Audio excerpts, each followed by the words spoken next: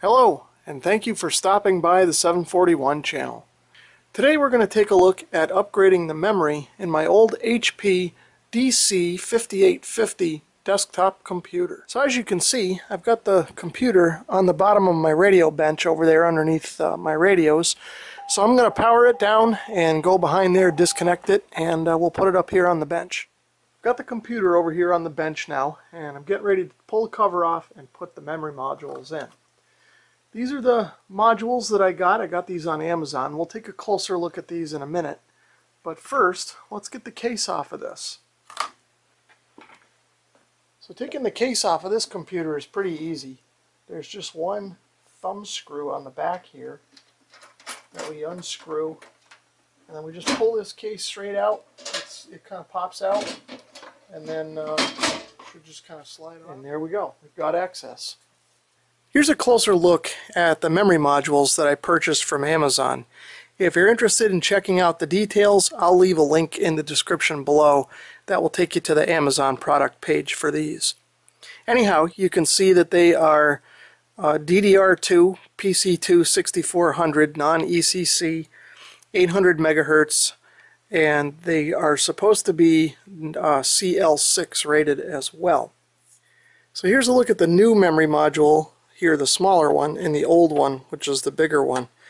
Aside from the physical size I think they're pretty similar in nature. The chips are different but kind of configured the same. We'll flip it over and you can see that the new module is an A-Tech and it's got the part number and some ratings and stuff there and the old one is probably genuine HP original to this computer when it was new but made by Micron. I think that's their Anyway, logo. let's put the old one back in where it was, and we'll put this one and its brother in the open slots.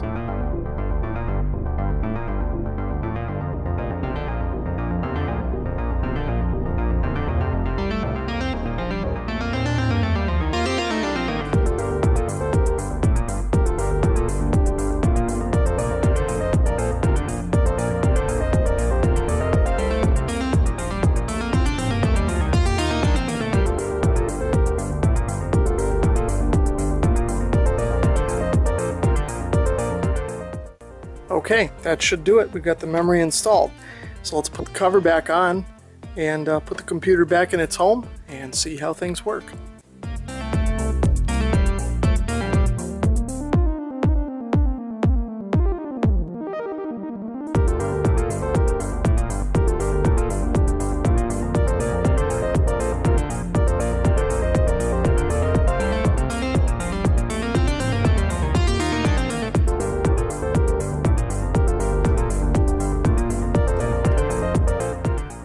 As you can see, we've come to one of the BIOS screens here, and it's recognized that we've made a memory change, and it is reporting now that we have 8 gig, which is what we want. So what I'm going to do is push F1 to acknowledge that that has changed and save it, and we'll go right into uh, booting, presumably.